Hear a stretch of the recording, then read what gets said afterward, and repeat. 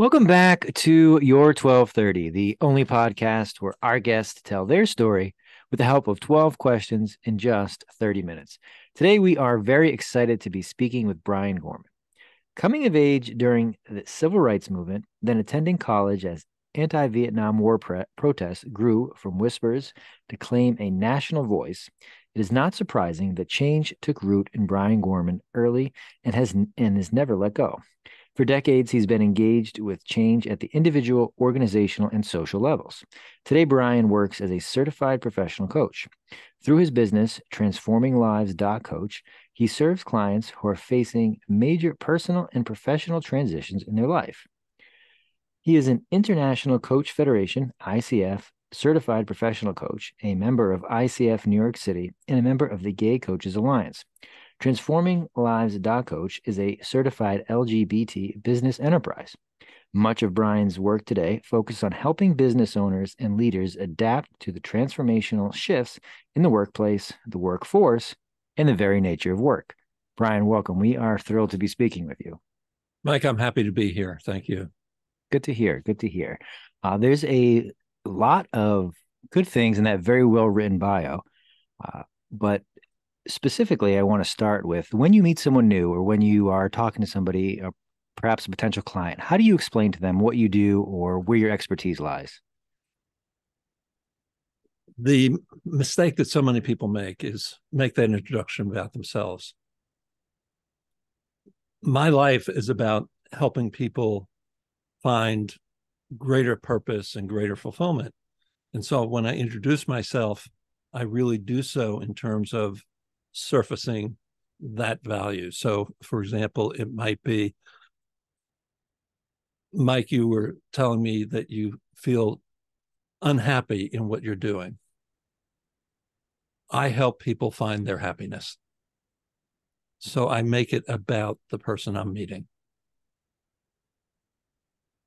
I, I love that answer because that's a question I like to start the interviews with. And that's the most, I don't want to say thoughtful, but that's the most, uh, it's the answer that gives the most thought into who you're speaking to as opposed to here, here I am, here's my standard one, two, three lines.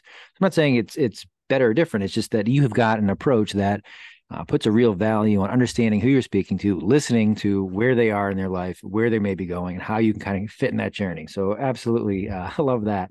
Um, so I want to dig into that in a second, but a couple other things in bio that stood out.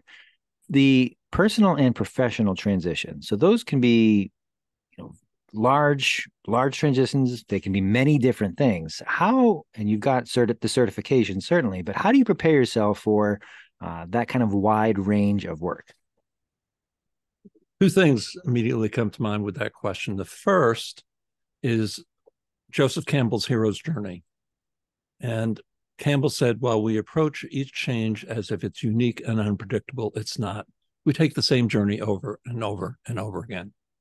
I've spent my lifetime really coming to understand that journey, uh, what that path is, what kinds of obstacles people may face.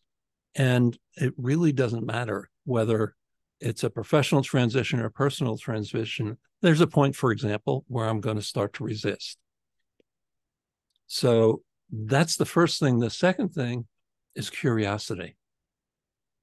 I don't have answers for my clients. I have a lot of experience and I help them find their answers through my curiosity. I want to follow up there. The the standard thing that we've heard for many years is well, if someone asks you a question instead of guessing, say you'll you'll get back to them, which you know is is a fine approach. But where you mention your curiosity, you're uh, you're most likely asking them questions, informed questions based on your experience. What kind of responses are you getting from some clients? Or hey, you're the professional here. You're supposed to be helping me. Why are you turning this back on me? If you get that at all, and uh, I'm sure you you can you handle that conversation well. But what, what does that look like when when there might be a little frustration? Like, why are you asking me these questions?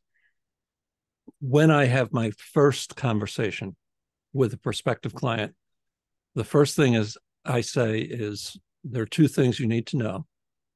Our conversations belong to you, not me. You can do anything you want with them. I am held in strictest confidence unless you're talking about illegal activities or harm to yourself or others. The second thing is I bring a lot of experience. I don't bring your answers. My role here is to help guide you as you find them. Very nice. Uh, the other thing in the bio that I wanted to make sure I followed up on was that the last line, the uh, transformational shifts in the workplace, within the workforce, and in the nature of work. So that is very obviously uh, profession and professional driven, but it's that's a that's a very large topic as well.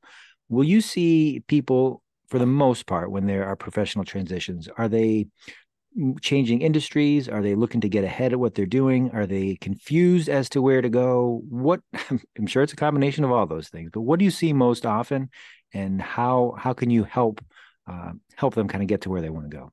Until you clarified that, my answer was yes. I see I all I of call it. myself. I see all of it. Uh, today, I think the thing that I see most is how do I deal with sort of this roller coaster that we got on with COVID? You know, my boss is telling me I have to come back into the office, and I don't want to. I was performing extremely well from home, and I was able to blend my work with the rest of my life. And now I'm supposed to separate them again. And um, so I think that's really the biggest issue. Or um, my bosses wants me to come back to the office, but I've found out I really don't like my job, or I don't like my career. So it it really is all of those things. If we look at the factors behind the Great Resignation, all of those things are surfacing in in the work that I'm doing with clients these days. And we've, you know, from the headlines to just following the market in general, there seems to be, if you're just following headlines, that there has been a shift that as people are being asked to go to offices and as as work environments have changed, that it's not as in the great resignation that people uh, in the workforce are, are moving as freely or have as many options as they had. You know, certain industries that's true more than others. And we don't have to get into that part. Um, but are are you seeing that uh, employees are still have as much uh, autonomy as they did 12 to 18 months ago, where they can say, you know, I've had a lot of time to think about this. This is not the right environment for me. My services are more valued or I'm more interested somewhere else, or is that tightening in, in, you, in what you're seeing? I think there are a couple of pieces to that. First of all, the um, it's important that the best people, most skilled, most able to make change, always have opportunity. And so if their organization is not being responsive to them, they're on the market. More broadly, I think people still are seeing that they do have options. The options might not be as easily visible, they might not be as many, um, but I haven't really heard anyone say, help me figure out how to hang in there another year. Okay. I like that answer. And you started with talking about the best people within an industry. And my mind immediately went to being in New York, that that was the the cliche was, you know, if you can make New York, you can make it anywhere. It's where some of the most talented, hardest working, most successful professionals are. Do you see a lot of your client base in person in the city? Um, uh, I'm sure there's been a, a shift to uh, virtual in in all fields, but in, in ours up more particular. And has it opened up the ability to see clients that you'll never run into uh, in the streets of New York? Well, a couple of things. First, my understanding, if I remember the numbers correctly, is about 40% of the New York office space is vacant. So there are less people in the office in New York. But in fact, I started my coach training um, in a seven day on site uh, program, and our instructor brought other coaches in via Zoom. So back maybe uh, 2016, I was learning how to coach on Zoom. And I have clients that have worked with me for three or four years in all parts of the world that I've never met. I don't do a whole lot of person to person, in person coaching. I wrote down three things quickly because I need to interject. First, the 40% is incredible. And I reminded of, I had a uh, conversation with uh, somebody who handles a lot of office space in New York and Boston. And I heard those numbers and like, there's going to be a lot of corporate fallout from from from this because of that that space. And his answer was, I, I think you're severely underestimating the uh, the amount of support that a lot of our corporations have to remain you know, open businesses because that office space is open and still 40% that's quite a large number um, and, and, the second thing that you mentioned coaching on zoom in 2016 is just a, a fortuitous turn for for where we we've gone uh, and even and even then um, not even 10 years ago I, I, think zoom would not have been a thing that most people would have heard heard of before so kind of having that opportunity i'm sure has has uh, paid dividends um, the other thing I wanted to ask you from the bio that uh, is a central point that uh, I do not want to overlook. Uh, being part of the Gay Coaches Alliance, uh, being in New York, a, a progressive minded, a forward thinking area, how has how does that come into play to you, to who you work with, to how again you, your introduction is based on your audience, which I love. Uh, how, how does that come into play? Are, are people seeking you out because of um, your background, who you cater to, or what does that look like? So I cater to anyone who is looking to make a big change in their life. In some cases, that is a member of the LGBTQ plus community. Uh, I think one of the most significant transformations that any of my clients has made was a man who came to me at the age of 74 said, I've been married for 49 years. It's time to start living who I am. I need to figure out how to come out of the closet. That's at, at any age, that's sad and heartbreaking news that I've not been able to live the life that you wanted to. But 74 and 50 years of marriage, that's um, it, it's a victory to to get there, but it's it's a long time to wait. Um, if if I can say something about that, I'm, and I absolutely agree with you, and it really highlights one of the th- things that people tend to forget about change. There is sadness. There is letting go of something that meant something to you, no matter what the change. You know, I'm not leaving this job because I never wanted to do it. I'm leaving it because it's not right now. And so there's a letting go that has to happen. I think that that's that's a great point because often when we talk about change, it's something that we look back in the rear view and we either gloss over how difficult, how sad, how hard, how whatever uh, you know adjective you want to put in there. Um, but that's a good point. In the moment, that it is something that we probably don't want to do. Otherwise, we would have already been on that path, or um, it's something that we've been putting off. So that that sadness or that difficulty is uh, kind of a big deal. So seeing that transition, transformation, and moving forward in a new or different path is central to what you do. Is there any, for anybody listening who may not have the benefit of working with you, anything they can start to do to make positive change or something, a goal or a target they've been putting off because it's seemed too big or too difficult or it would cause strife in their life? What would be a good first step? Find the aspiration behind that goal goals are intellectual. You know, I setting a goal to lose 20 pounds this year. That's that's up in my head. The aspiration is to live a healthier life. That's a head, hard gut aspiration. Connect with that aspiration. And the goal won't necessarily be easy, but it will be easier and more attainable. That's good advice. Thank you for sharing that. Uh, before we hit record tonight, you mentioned that you were in the beginning stages of working on a book. Uh, where are you on that, and what what is that book going to entail? The book is about leadership in the 21st century, about enlightened leadership. The workforce has changed. The workforce was changing long before COVID hit. We all heard complaints about those millennials who kept on changing employers and had no loyalty. Well, it had nothing to do with loyalty. It had to do with what so many workers are now saying. There was no purpose in the work they were doing.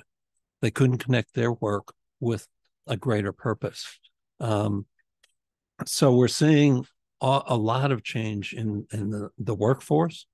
We're seeing a change in the workplace, whether it be uh, work from anywhere now or hybrid, uh, whether it be uh, the four day work week, we're seeing change in customer and and uh, people within the organization.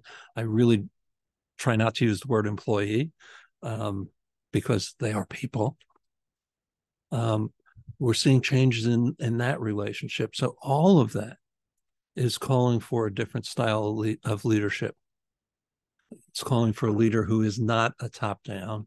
It is not a micromanager but is one who coaches and grows their employees, their people who work for them. It's um, a, a leader who helps people, sets them up for success, and then gets out of the way and keeps the road clear ahead of them. It's a different kind of leadership. And so the book is really about how the workplace has changed, how the workforce has changed, and what that calls for in terms of changes in leadership. I have pieces of all of it written, and I'm now starting to weave it together. Very nice.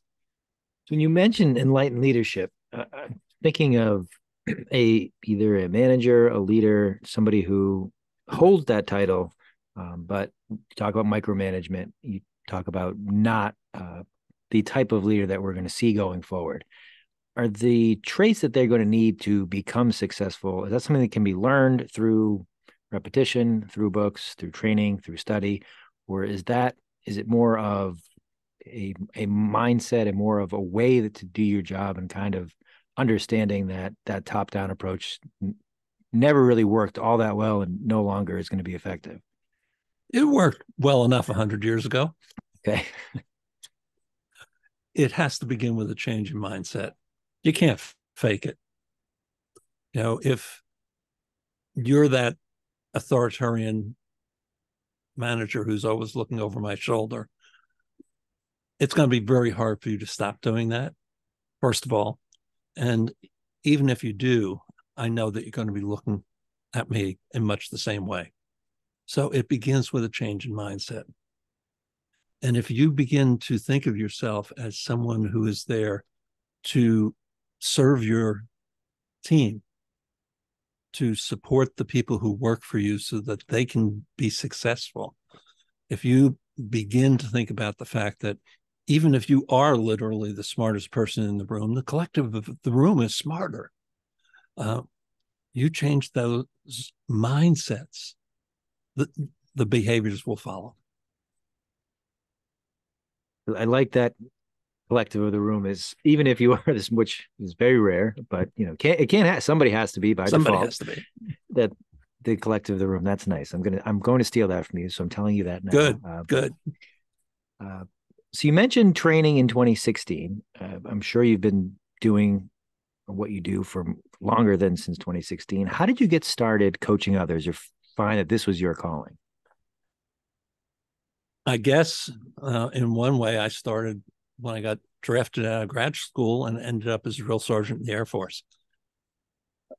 My whole career has had one common thread, and that's people moving through change.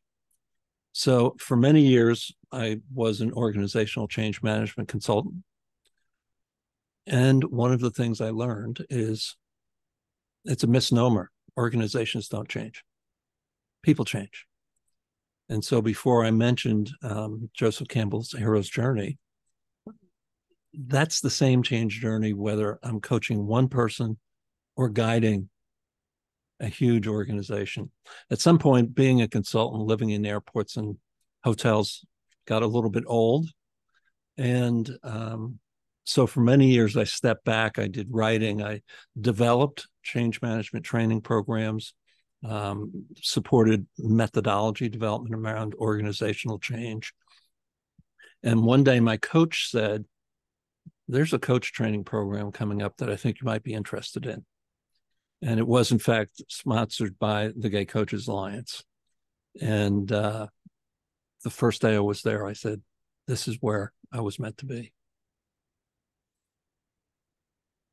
If you could, for for those listening who are not intimately familiar with the difference in those roles, if you could explain the organizational change kind of consultancy role versus the coach, there is there is some overlap, but what that main difference is, besides you know flying out Mondays to Thursdays, uh, why that why that kind of clicked for you and what you saw there in that in that first training that was like, yes, this is where I need to be.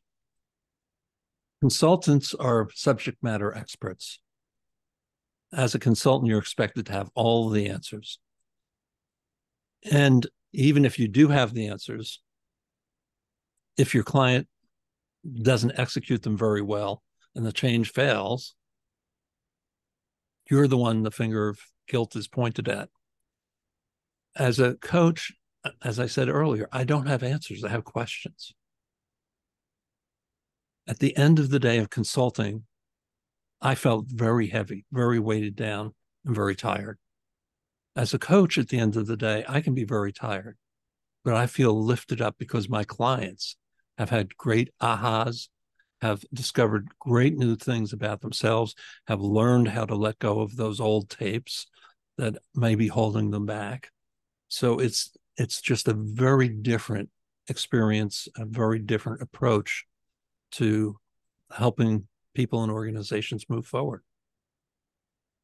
I like I like that distinction you draw because again, they're terms sometimes that get swapped out, or interchanged, but they are very different roles. And the example you give at the end of the day between the two, I think that's that paints that paints a wonderful picture. And that's that's me, Mike.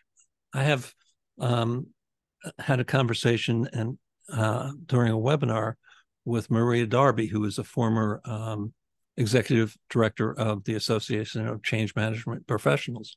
Maria is also a coach. Her passion is consulting. It goes back to the first thing you said, understanding who's in front of you, what what they're looking to to learn, to achieve, move toward, and then how you can be uh, that that sounding board or that piece that helps them get there knowing that different different interests for different people even if they have the same same like same talents that their outputs could be different. So i like that example. Um, you mentioned having you didn't use the term limiting belief but it's something i thought of as as you describe what holds people back. Uh, in, in your line of work where you're helping people through change one of the things that i hear frequently on the show is that people have limiting beliefs and a lot of the time they don't even know that they're there. How can how can we again for our listeners discover what things might be just constructs in our mind that are keeping us from either the the, the goals that we have the the things we want to accomplish or even our, our aspirations. Uh, what's a good starting point for d- d- understanding what is limiting our, our mind or our beliefs? I call them gremlins. And you're right we all have them. And the first thing I, I listen for what people are saying so if I hear a gremlin, I'll call it out. So it might be, you know, I, I just don't feel like I'm ready f- for the next step yet. Well, if you don't feel like you're ready for the next step, you're not ready for the next step. That doesn't mean that change that belief, you're not ready. But that feeling inside will hold you back. Quite literally, uh, the human mind responds to story the same as the lived event. And so, if you can change the story, you can change the trajectory of your life. So, once I hear a limiting belief, or if a client comes to me and says, I really need help because I'm just procrastinating on everything that's important to me we'll work on identifying, naming that gremlin. What do you want to replace that with? And then literally change the story.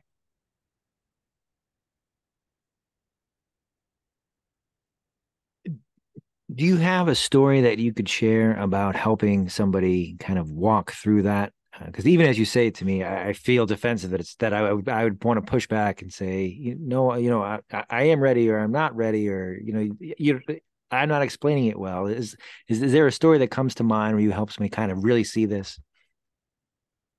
Yeah, um, thinking of one client who actually it was procrastination, and she said, "I procrastinate around making important decisions," and so I think she she named it Peter procrastination, and she wanted to replace Peter with Donna decision.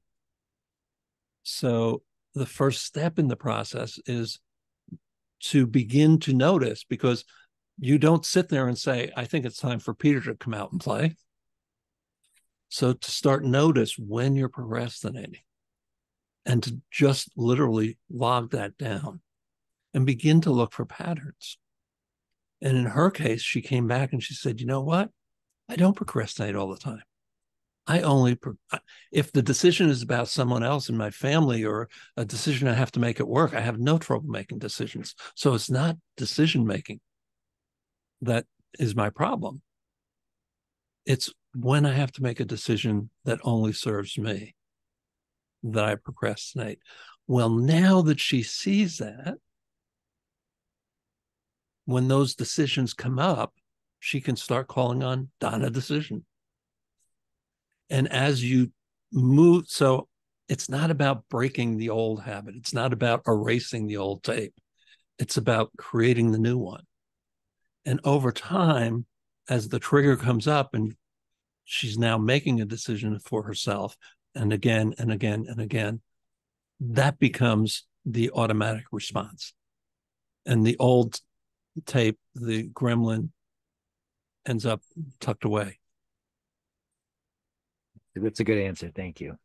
Um, somehow we're already coming up on time. Uh, so I will ask this last question, kind of taking a, a gear off, or uh, changing gears, uh, and then uh, we'll we'll wrap up. But you, before we hit record, you also mentioned that you've been in New York for a good amount of time. Did you have a welcome to New York City moment, or were you prepared when you first first arrived? Well, I grew up uh, about eight miles out of New York uh, in New Jersey. And my mother worked for decades in New York City. She would get up at 4.30 or 5 o'clock in the morning to get the city ahead of traffic. And if she couldn't get out of work by mid-afternoon, she'd wait until 7 or 8 at night to not get stuck in traffic. So when I moved here, I decided if I'm moving to New York City, I'm going to live in New York City. So I, I think I, I, moved in uh, December 1st of 1986. And one of the first places I had been was doing sort of the touristy stuff, the South Street Seaport. And there I saw a coffee grinder. Well, now I'm going Christmas present shopping, and I'm living up on East 96 for anyone who knows New York City. And I'm getting somebody a coffee grinder. So I have to go all the way down to South Street Seaport because that's where they sell them. Well, no, they sold them on the next block from my apartment. so that was sort of the first big aha that I really have to get to know New York City um, a, a, lot more intimately. I, enjoy that story and I laugh as somebody who spent a few years in New York, I made a lot of similar uh, mistakes in judgment. So that's that's a good one. So thank you for sharing that. Um, where can our listeners connect with you, Brian? Where can they find out more if they would like to? My website is transforminglives.coach. They can reach out to me at brian at transforminglives.coach or find me on LinkedIn. So we will post those links. Uh, my real last question to you this evening is we've I think we've covered a good amount of ground, but is there anything that I did not ask you that I probably should have? I think we really hit the road running. We'll take it. Well, Brian, thank you very much for joining us. This was a lot of fun, and I look forward to doing it again. Thank you, Mike. Have a great day.